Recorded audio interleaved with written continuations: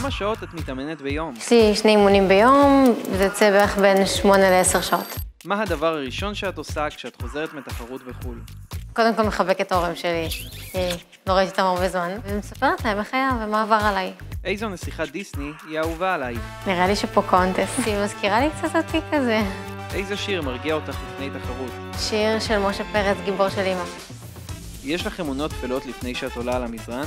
אני תמיד נכנסת למשטח ברגל ימין. אה, לפני יציאה למשטח, אה, יש לנו, לכל אחת יש את המגבת שלה.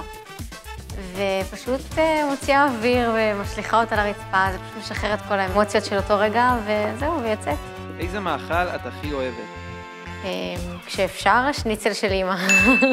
מה המפתח שלך להצלחה? כשאתה מגיע לרגע של ירידה, לדעת לאפס את עצמך ובאמת לתת לעצמך את הכוח להמשיך ולא להיכנס להפסד.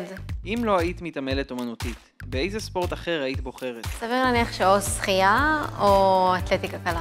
שלושה אנשים שפתחו לך דלתות בקריירה? הוועד האולימפי, שתי המאמנות שלי, איילת זוסמן ולנה קופלנקו ורב ברך, שבעצם מאז שאני קטנה תמיד אה, תמכו בי גם כלכלית וגם בכל דבר שהייתי צריכה.